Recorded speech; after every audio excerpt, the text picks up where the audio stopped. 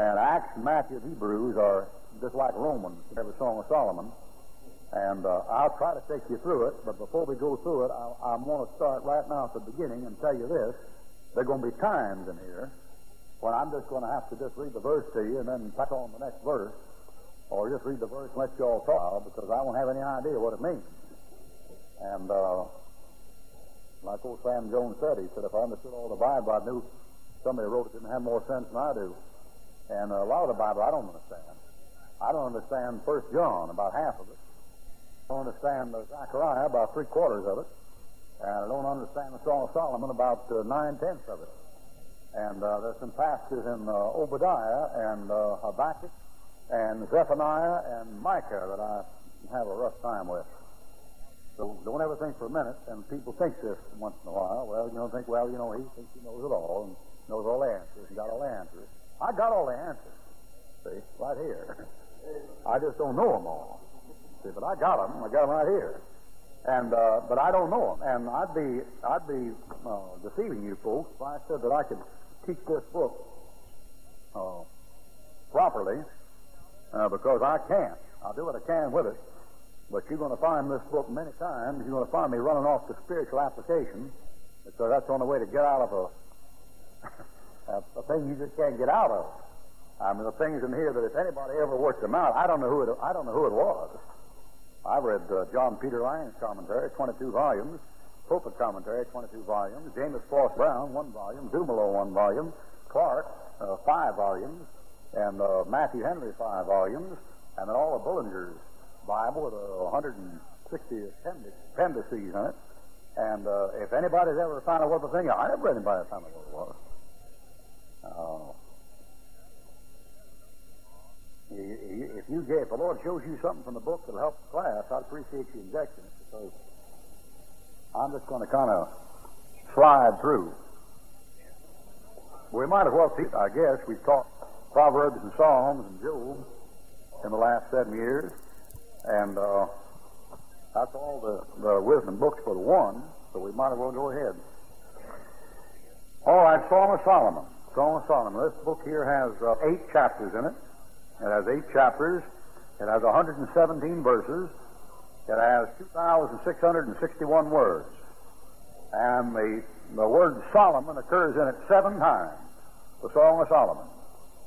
And the Bishop's Bible, written back before the King James, says it's the ballet of ballets, the dance of dances.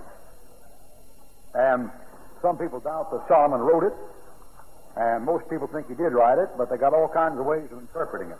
The ways of interpreting the Bible are the mystical way, the political way, the Augustinian system, and uh, the devotional system. Luther's uh, interpretation of the Song of Solomon was mystical doctrinal.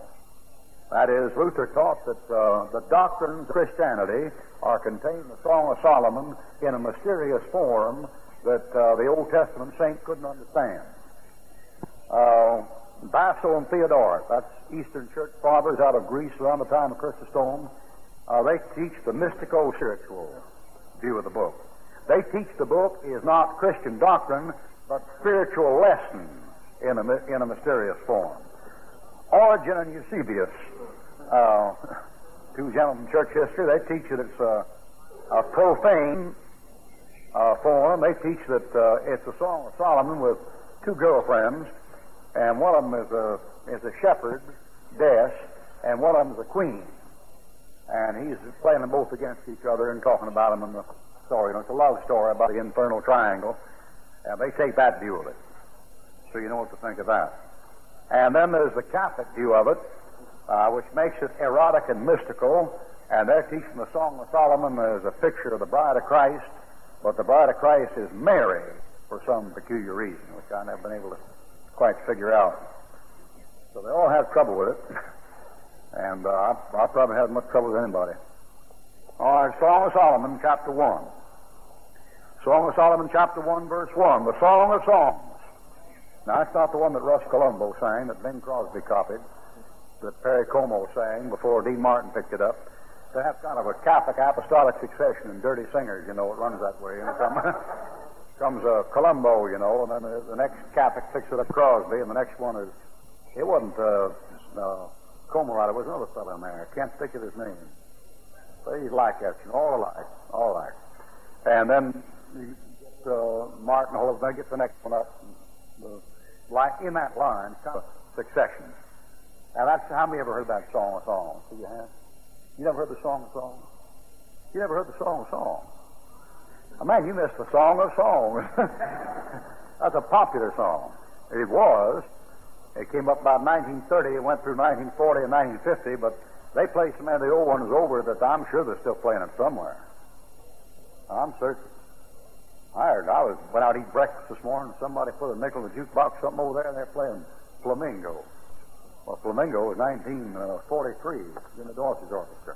They're running 20, 25 years backward, so I know they have a song or song somewhere. Well, if you ever get a chance to hear it, turn it off. It ain't worth hearing. uh, one, the Song of Songs, which is Solomon. It's not Columbo's or Bing Crosby's. The Song of Song, which is Solomon. Well, it must be some song because Solomon wrote 1,005 songs. Uh, I don't have the reference mark for that, but uh, that's what he wrote.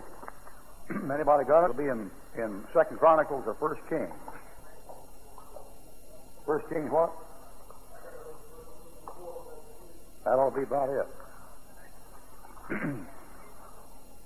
uh, First Kings four thirty-two. Yeah, that's it.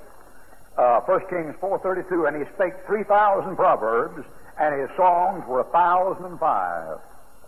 That's uh, quite a record.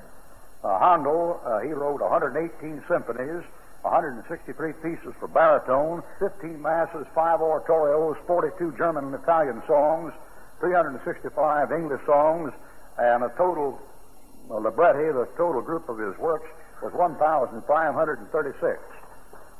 And Solomon here wrote 1,005. I put him up near Handel somewhere.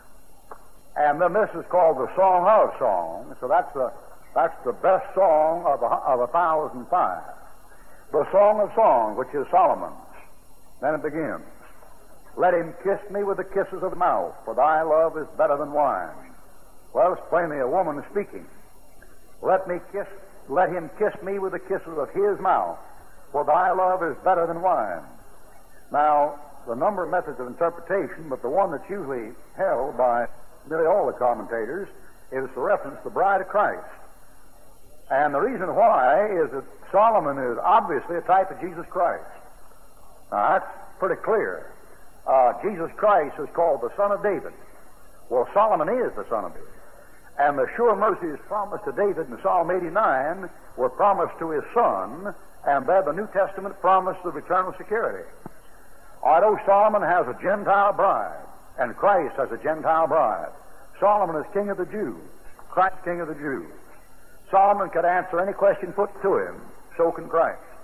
Solomon got back all the land promised Abraham, Isaac, and Jacob. Christ will get it when he comes again. A Gentile queen comes to see Solomon, the Queen of Sheba, type of Gentile in the millennium. So Solomon is obviously a type of Christ.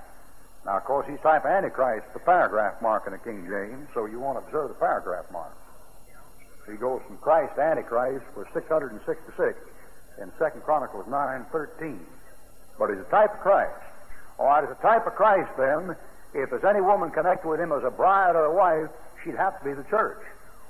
And uh, it's pretty good. It's pretty good interpretation. I'll show you why. Uh, look at chapter two and look at verse uh, ten. My beloved spake and said to me, Rise up, my love, my fair one, and come away. It's a reference on the rapture. Look at verse 8, the voice of my beloved.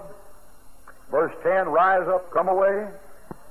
Somebody said, well, it's the tribulation rider. No, that won't work. Because this love here is a singular one. Look at Song of Solomon 6, 8. And notice this bride of Solomon is one particular individual, unique bride, separate from all others. Song of Solomon 6, 8. There are three score queens, four score concubines, virgins without number. Matthew 25, Revelation 14. My dove, my undefiled, is but one. She is the only one of her mother. She is the choice one of her that bore. Well, uh, David, uh, Paul says in uh, 2 Corinthians chapter 11, uh, he said, uh, I have espoused you as a chaste virgin to Christ. One. One. The Bible says there is one body. You can't make that tribulation saints. You can't make it Old Testament saints. All right, Song of Solomon 1 2. Let him kiss me with the kisses of his mouth, but I love is better than wine. Then in type, it pictures the love relationship between the body of Christ and the Lord Jesus Christ. Uh, even the unconverted, in the millennium, are told to kiss the Son, lest he be angry and ye perish in the way. A woman that wiped his feet uh, kissed him, wiped his feet with her hair. And kissed me with the kisses of his mouth, for thy love is better than wine. Well, a kiss is a sure token of reconciliation in the world. They consider it to be that. Uh, you've got all kinds of kisses. You've got uh, you got a, a filial kiss, a devotional kiss, like uh, father and child, mother and child, relations in the family. You've got an unholy kiss. You've got like Samson and uh, Delilah. You've got a, a hypocritical kiss, like Judas kissing Jesus in the Garden of Gethsemane, and uh, Joab kissing Abner before he cut him open through the middle. And then you've got a holy kiss. Bible says, greet the brethren with a holy kiss in Thessalonians and Timothy. But generally, if it's uh, proper, it's considered reconciliation. It's considered things are all right. Uh, two, let him kiss me with the kisses of his mouth. My love, speaking of Christ, is better than wine. Well, a Christian don't have to fool with wine. Uh, the Lord's love is better than wine. Uh, there's a passage over, we'll turn to it back in Proverbs, that speaks about wine for a certain type of person. And yet in this uh, passage, it's plain that wine is not for kings. And God hath made us to be kings and priests, and we shall reign on the earth with him. Revelation 5.10.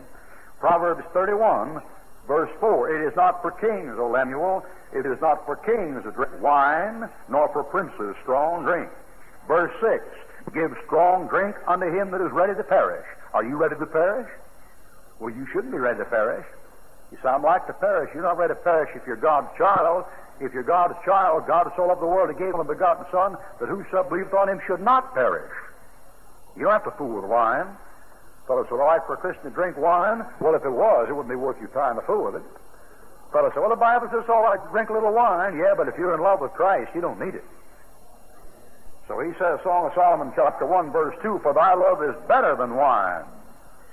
Then, we'll close here, because of the savor of thy good ointments. That's the smell of thy good ointments. That's perfume. That's like the woman breaking the alabaster box and putting the ointment on him. Because the savor of thy good ointment, thy name is as ointment poured forth. The Bible says uh, a good name is to be chosen rather than what? Riches and back. Well, I, that's what I thought. I thought it had something to do with precious. Here it is, 7 1. Or Ecclesiastes 7 1. A good name is better than precious ointment. A good name is better than precious ointment. So here's a woman that uh, has a bad name. She takes alabaster box, she breaks it, she puts it on Jesus Christ, and Jesus said, wherever she, if the gospel is spoken, that shall be spoken of her in a memorial. She got a good name. And she got a good name from helping him out. And she got a good name from helping him out, and it cost her to help him out. But a good name that she got is better than precious ointment that she poured out, you see. All right, three, because the savor of thy good ointments, thy name is as ointment poured forth. Therefore do the virgins, plural, write down Matthew 25 and, uh, and Revelation 14. That's your tribulation saints. Therefore do the virgins love thee. The New Translation by Moffatt says, all the girls are in love with you. What a reading, brother. You know, they say that's modern English. Well, brother, it sure is degrading. Look at the difference between, uh, because of the savor of thy good ointments, thy name is ointment poured forth, therefore do the virgins love thee, and because the smell, the perfume, your name is worth a lot of money, therefore all the girls are in love with you. I mean, what a degrading Bible, you know. That's, that's Moffatt. That's Moffatt. And that reading, of course, doesn't uh, give the sense the text anyway. Is anybody with any sense will know. All right, uh, therefore do the virgins love thee. Matthew 25 and Revelation 14. Is my clock slow?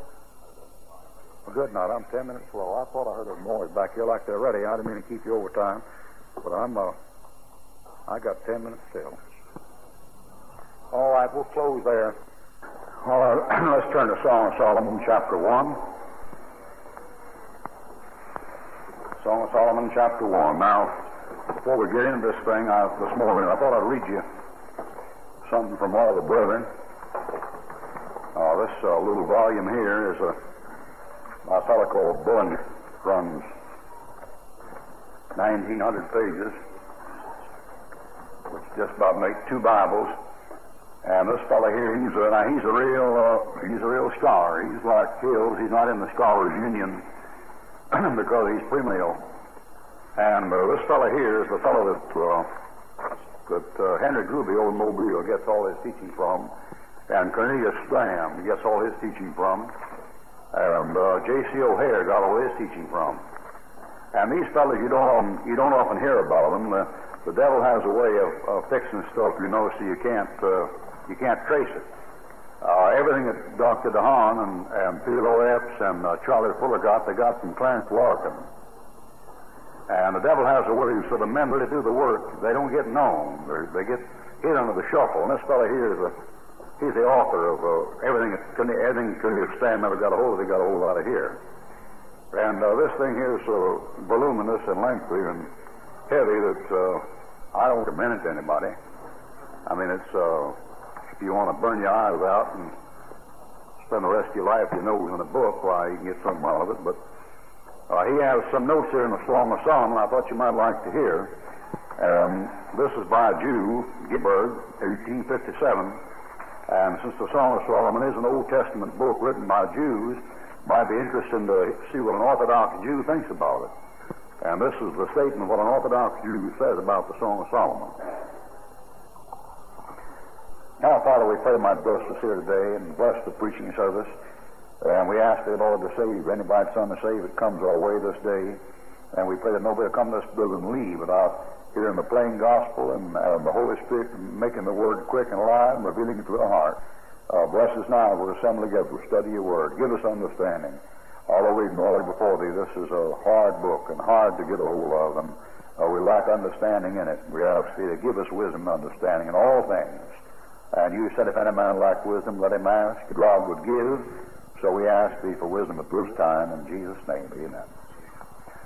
Now, according to Ginsburg, and he's the father, Prince Orthodox uh, Jacob Ben Chaim Old Testament texts, which are Orthodox Hebrew texts, he says this. Uh, there was a family living at Shulam consisting of a widowed mother, several sons, one daughter, who maintained themselves by farming and pasturage.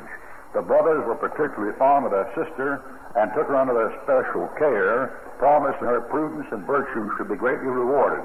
Chapter 8. In the course of time, while tending the flock, and according to the custom of the shepherds, resorting at noon beneath a tree for shelter against the sun, she met with a graceful shepherd youth to whom she afterward became engaged. Chapter 1, chapter 6. One morning in the spring, this youth invited her to accompany him into the field, but the brothers, overhearing the invitation and anxious for the reputation of their sister, sent her to take care of the vineyards, chapter 2. The damsel, however, consoled her beloved and her self-assurance that though separated bodily, indissoluble ties subsisted between them over which her brothers had no control, chapter 2. She requested to meet her shepherd lover in the evening, and as he did not come, she feared that some accident had befallen him on the way and went in search of him, chapter 3, and found him. The evening now was the only time which they could enjoy each other's company, as during the day the damsels occupied in the vineyards. On one occasion, entering the garden, she accidentally came in the presence of King Solomon, chapter 6, who happened to be on a summer visit to that neighborhood, chapter 6. Struck with the beauty of the damsel, the king conducted her into his royal tent, chapter 1, and there, assisted by his court ladies, chapter 1, endeavored with alluring flatteries and promises to gain her affections, but without effect. Released from the king's presence, the devil sought an interview with her beloved shepherd, chapter 2. The king, however, took her with him to his capital in great pomp in the hope of dazzling her with his splendor, chapter 3. But neither did this prevail, for while even there she told her beloved shepherd who had followed her to the capital and obtained an interview her, she was anxious to quit the gaudy scene of the king for her own home. The shepherd, on hearing this, praised her constancy, chapter 4, and such a manifestation of their mutual attachment took place that several the court ladies were greatly affected by it. Chapter 6. The king, as determined as possible to win her affections, watched for another favorable opportunity, and with flatteries and offers of money, surpassing all he had used before, tried to obtain his purpose. He promised to elevate her to the highest rank, to raise her above all his concubines and queens, if she would comply with his wishes, but faithful to her engagement, she refused all his overtures on the plea that her affections were pledged to another. Uh, 7 and 8. The king, convinced at last he could not possibly prevail, was obliged to dismiss her, and the shepherdess, in company with a beloved shepherd, returned to her native place, chapter 8. On the way home, chapter 8, they visited the tree under which they had first met. They renewed their vows of fidelity to each other. On arrival and safety at home, her brothers, according to their promise, for her greatly for her virtuous conduct, chapter 8. Now, that's what it's supposed to be, according to Orthodox Jew. And, of course, that stands that's uh, it's simply a story, you see. And of course, it has beautiful things in it. It's a love story. Um, uh, maybe historically that's what it means. But when you try to get the doctrine of thing, boy, you've got some problems. Because King Solomon is a type of Jesus Christ. Well, he doesn't win the lady. She goes back to her shepherd lover. But who's the shepherd? Well, it's Jesus Christ.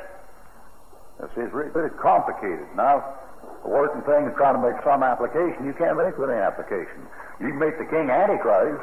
That's what you can do. You can make the you can make the woman in the Song of Solomon the bride of Christ, and you can make the king the Antichrist, trying to win her affections, and her not paying any attention to him, um, sticking with the shepherd and making the shepherd Jesus Christ. So you can do that. But uh, Boy, we'll get some passages here in a minute that will sure mess up that interpretation. Because uh, King Solomon is one of the greatest Christ in the Bible, and relationship between him and the uh, bride in this uh, Song of Solomon a little bit too close for an engagement, and so it's pretty hard to pretty hard to put them down. Now, you could say this. You could say that this book, as in the marriage relationship, is a is a perfect picture, a perfect love, or a perfect relationship between a man and a wife. You can say that. And you could say historically that that story I read you out of Ginsburg is a nice story and it fits the passage. You can say that. And uh, you'll see that in. You can say this. You can say there's some beautiful spiritual truths in here taught about the relationship between the bride of Christ and Christ. You can say that. But beyond that, you're going to have problems. All right, Song of Solomon, chapter 1, verse uh, 2. she's speaking. And according to Ginsburg, she's speaking about uh, the shepherd. Let him kiss me with the kisses of his mouth, for thy love is better than wine. Commented on it last time. Because of the savor of thy good ointments, thy name is as ointment poured forth. Therefore do the virgins love thee. Won't fit. Won't fit the shepherd might fit the king. The king has virgins and concubines without number, according to uh, chapter uh, chapter six, verse eight. Chapter six, verse eight. There are three score queens and four concubines and virgin without virgins without number. And Solomon had a thousand wives. Uh, might be a reference to the shepherd, but but in the story, it doesn't, it doesn't, it doesn't sound right. Because the seed of thy the name is ointment poured forth. I'll make it Jesus Christ. That'll fit. Because the seed of thy good ointments, like what Mary put over him, thy name, Jesus, is as ointment poured forth. That'll match.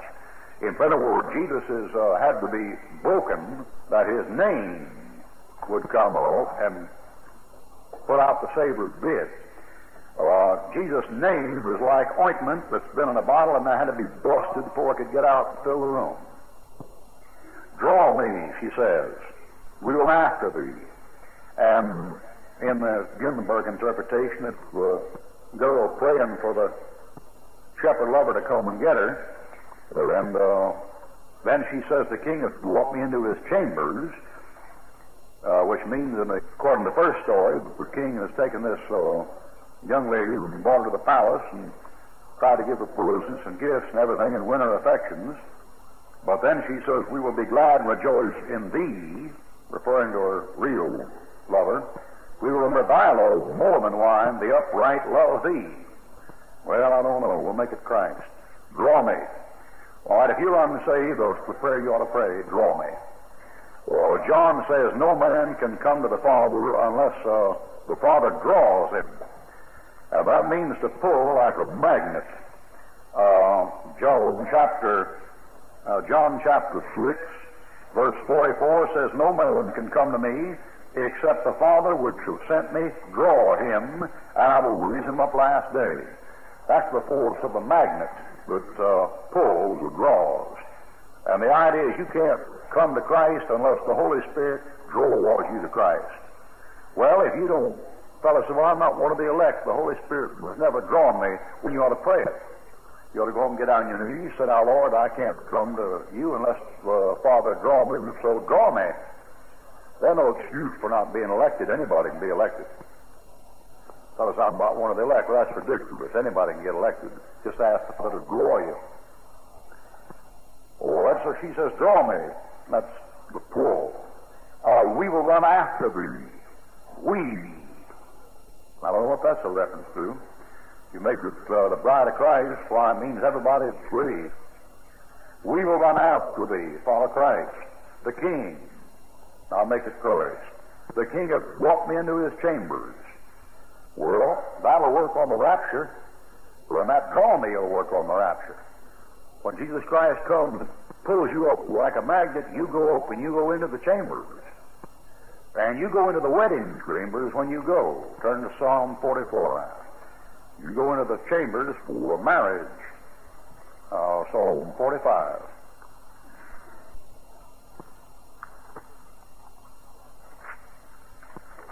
Psalm 45, verse uh, verse 1. My heart is writing a good matter. Turn the thing over. I speak of thing which I have made, coaching the king, like Solomon. My tongue is the pen of a ready writer. Says my tongue I'm speaking is like a man writing down stuff on paper. Then he says, Thou art fairer than the children of men. Grace is poured to thy lips. Therefore God hath blessed thee forever. And then coming on down, it's speaking of Jesus, verse 6, Jesus, verse 7.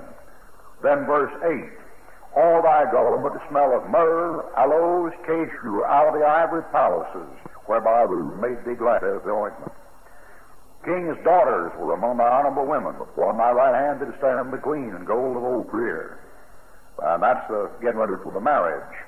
Verse 13, the king's daughter is all glorious within. Her clothing is of wrought gold. She shall be brought unto the king, as going into the chamber, in raiment of needlework. The virgins were companions, as she says, the upright love thee, and the virgins love thee. The, the virgins are companions. That follow her shall be brought unto thee. There's the drawing. With gladness and rejoicing shall they be brought unto life. They shall enter into the king's palace. And she said, The king brought me into his chambers. So I take for granted the story that the king is Lord Jesus Christ.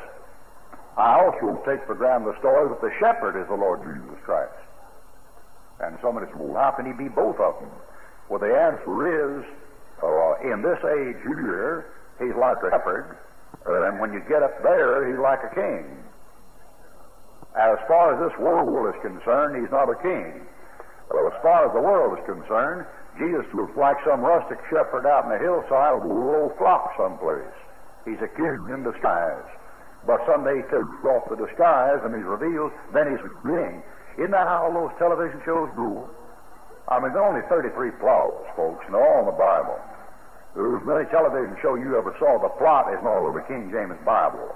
And I've seen that plot a hundred times, you know, with the gay caballero, you know, and the the prince's son and the duke and the king uh, is disguised as a burgher or a common lackey or something, you know, and he's going around here and meets this beautiful girl, and they can't marry because he's a commoner, you know, and poor blood, and he can't marry her because of something she's royalty, you know, and all the time he's royalty. Haven't you ever seen one of those?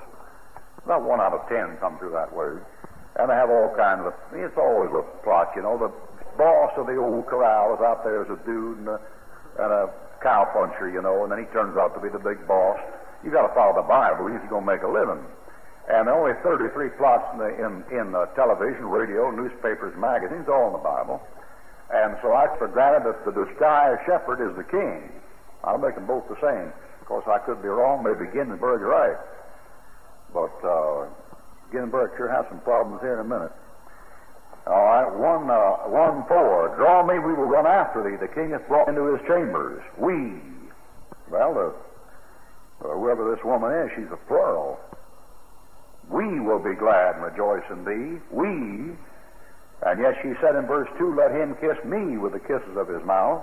But down in verse 4, we, it looks like it's uh, everybody saved. Might be one woman as far as the bride goes, but as far as people goes, it's a bunch of them. We will be glad and rejoice in thee. We will remember thy love more than wine. All right, verse 2. His love is better than wine. Verse 4, his memory is better than wine. We will remember thy love more than wine. In Pentaworship for a chronic alcoholic, you take a fellow on, that's a chronic alcoholic, uh, you get him to fall in love with Jesus Christ, and he'll forget his liquor. And uh, that's the cure for chronic alcoholism. Really, it isn't the AA. I mean, the AA gets you off for a while, you know, on and off and on and off. And uh, the AA, you take the, the AA, they can get you off, but they can't get you to quit wanting it.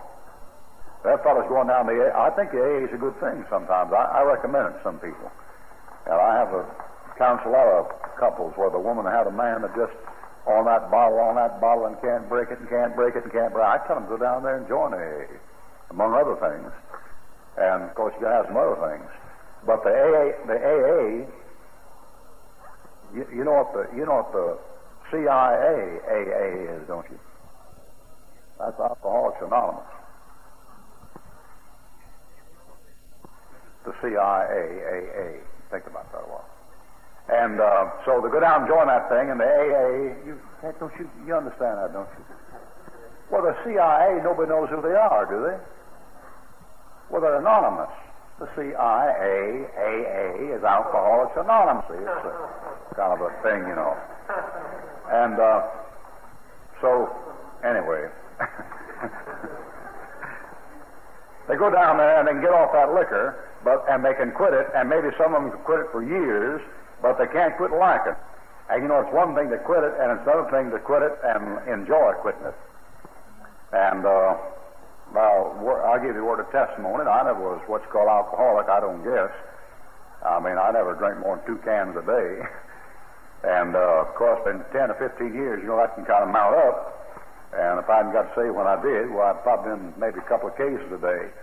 But at any rate, when I was 27 years old, I found the Lord Jesus my Savior, and I had no trouble quitting the liquor at all. I mean, it just stopped. It just went along right to the 14th of March at 10 o'clock in the morning, and that was it and uh, I'm not interested in it. And you say, well, how do you overcome it? Well, you get something better. You get something better. And he says, remember, we will remember thy love more than wine. Do you know what a fellow remembers when he gets drunk or after he's drunk? I'll show you. Uh, uh, Proverbs 23. Proverbs 23, verse 29. I'll show you how drunk thinks. It's all in the Bible. It's all in the Bible. You don't have to buy any books. It's all in the Bible. Proverbs 23, verse 29. And he says, Remember I love more than wine. A fellow, after he's been in a drunk, he goes back and tries to conjure up what he did. And remember it. And think about it. That's all they talk about. Do you ever hear fellows, you know, on the Naval Air Station and in the Army and Navy, you know, oh, boy, we had one last night. Man, we pitched one last night. Boy, we pitched one last week. Boy, that last New Year's. Whoo, boy, you remember that last? Yeah, you know, they all vomited, you know. They all got sick and fell in the bathtub and everything. And uh, they, they, you know, they, they sit around and talk about, oh, how it was, you know. Oh, here's how it was. Proverbs 23, 29. Who has woe? Who has sorrow? Who has contention? Who has who has babbling? Drunks that babble, they can't talk clear, you know. Tongue gets thick. Right, right, put them away, you know. they babble. Who hath wounds without cause? They go around bump into things. I've, I've talked to many men came in next morning, blood all over. He couldn't tell you where he got it from. I've seen him in the mission with blood all over him, dried blood, the scabs all over him, the head to the foot. They don't know whether a mad dog bit him or they bumped into a picket fence or fell off the curb. They don't know what happened to him. And he said, Who hath wounds without cause? And wound without cause means uh, most drunks get in fights and no cause for getting in a fight. And if there's any time you shouldn't fight, when you're drunk. If you ever get drunk, go to bed, but don't fight. Because the easiest man to whip in the world is a drunk man. His, his reflexes don't work. And they show those fellas, you know, these, you know, the old drunk comes swaggering in. I can take only ten men in this place. A drunk can't. He can't take on two of them. And uh, so they go out there and they get in fights, and then they get wounds without cause, or no cause for it. Who have wounds without cause? Who have redness of eyes? Answer: They that tarry long at the wine. They that go to seek mixed wine. So the Song of Solomon, the bride says, His love is better than wine, His memory is better than wine. 31. Look not thou upon the wine that is red, when it giveth his color in the cup, when it moveth itself aright. At the last, here's your memory. At the last, it bites like a serpent and stings like an adder. That's your memory. You look back on the bite of a serpent. At the last, thine eyes shall hold strange women. That'll be your memory. And thine heart shall utter perverse things. That'll be your memory. Yea, thou shalt be as he that lieth down in the midst of the sea like a man floating on the water, like this. And the waves, see, just, he says, tossed to and fro with every wind of doctrine, unstable as water, see, You like that. And then he says, or is he that lieth upon the top of the mast? Well, that's a crow's nest in a mast. That mast goes up, that crow's nest sits up here, that old boy sits up there, and in a storm at sea, that old ship's going like this. And you know, it's bad enough to be down on, down on deck in a good storm where the deck's rolling and you're going, hmm, you see, hmm, but and that's where a drunk walks. Walks like a man on a on a deck in a in a storm. But think about being up there, see, uh, 60 to 70 feet above, and that thing going, and that old ship going, uh, and then, in a in a sailboat. Every time this fellow down here reels four feet, that old boy up there is moving 40 feet. And he said, that's the way a drunk is. Mind going like that. 35, here's what you'll remember. You'll say, they have stricken me, got in a fist fight, got beat up. They've stricken me, and I wasn't sick, so didn't, didn't, get, didn't bother me. They have beaten me, and I felt it not. You get all tanked up and half stone, you can't feel it. That's why they get in fights, I guess. Drunk getting in a fight, he can't feel, feel it when he's getting hit. But I don't keep him from getting hit, don't get him, keep him from getting knocked out. And I felt it not, when shall I await? I will seek it yet again. See that? Fellow says, when I get up, I'll go back and get me some more liquor. Right, Song of Solomon, chapter 1, verse 4. I will remember thy love more than wine. And uh, that means that when you think about what the Lord did for you and his love for you, is the memory of that is better than wine. And it is. It is. Oh, my, goodness, it is. It isn't any comparison. I, if I if I made an effort right now to stand here and conjure up all the associations I had on wine and beer and whiskey and gin and vodka and scotch and aquavell and all that and rifle bore if I had to stand here and think back over that, what was connected with that, and then stand here and think back over what was connected with uh, Calvary and my salvation, that book, brother, you talk about a comparison. They just you couldn't. They don't even go in the same bracket. And so she says, "We'll remember His love more than wine."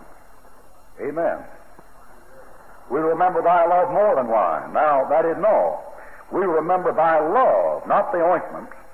The ointment was good, three good ointment, and not the chambers. The king hath brought me into his chambers.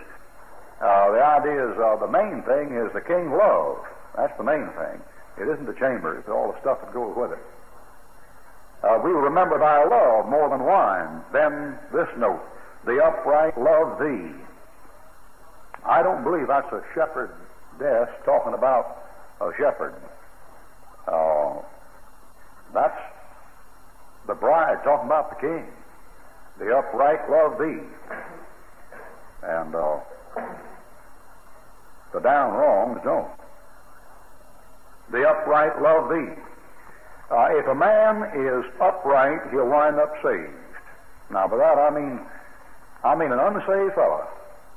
If he's if his heart is right. Now we know he's depraved and all that. But I mean, if, his, if he seeks, if he's an honest fellow and is trying to find the answers, he'll wind up saved. He'll find Christ. I'll turn to Proverbs chapter 1 and pick up Proverbs chapter, no, it's Proverbs chapter 8. I'll show you what I mean. Proverbs uh, chapter 8, verse, uh, Proverbs chapter 8, verse 35. Now, we know everybody's depraved and all that, but there's something, there's something badly wrong with a man that never gets saved that can be cured, and a man that comes to Christ, and the man that comes to Christ has something in him the unsaved fellow that always rejects him doesn't have. I know Calvin had some things to say about those things, but I don't believe everything I read in Calvin Institutes. And uh, you can't be honest and straight as an unsaved man without winding up getting saved. And you know what the Lord will do? And I've seen him do this a hundred times. If he's done it once, I've seen him take a fella and give him a little light here, a little light here, a little light here, a little light here. The fellow rejects the light. No more light. And time goes by. Now, a little light here, the fellow makes a move. A little light here, the fellow makes a move. A little light here, a little light here, the fellow rejects the light. No more light.